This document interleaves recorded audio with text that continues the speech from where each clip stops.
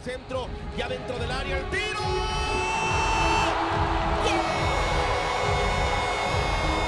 Quita su marcador. Anda con Humberto Suazo. Atención fuera del área de nuevo. Cuenta Cardoso. ¡Tira! Hay que ver la repetición. Aquí viene. Esta acción fue el común denominador que tuvo el Estadio Tecnológico en todo el 2012. Sí, el inmueble del TEC fue la casa del gol en Monterrey y su área metropolitana, en este año que está por terminar, superando la cantidad de dianas que se marcaron en su estadio rival, el Universitario.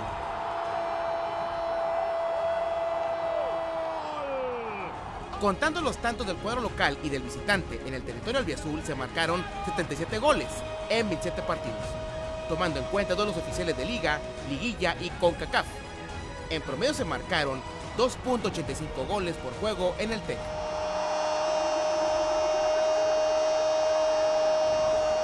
Mientras que en el Uni cayeron 54 dianas en 21 cotejos, promediando 2.57 goles por desafío en juegos de liga, liguilla, CONCACAF y Libertadores. De los goles que se marcaron en el TEC en este año, 56 fueron del Monterrey, que promedió 2.07 goles por partido. Los rivales solo marcaron 21 tantos.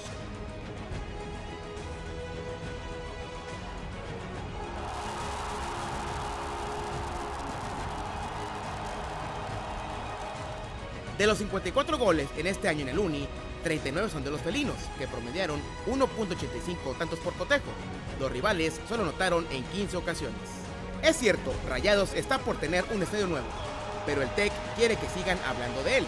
Y por lo pronto en este 2012, la Casa del Monterrey fue el estadio del gol en territorio regio, superando a la Casa de los Tigres. Gerardo Vázquez, Azteca Deportes.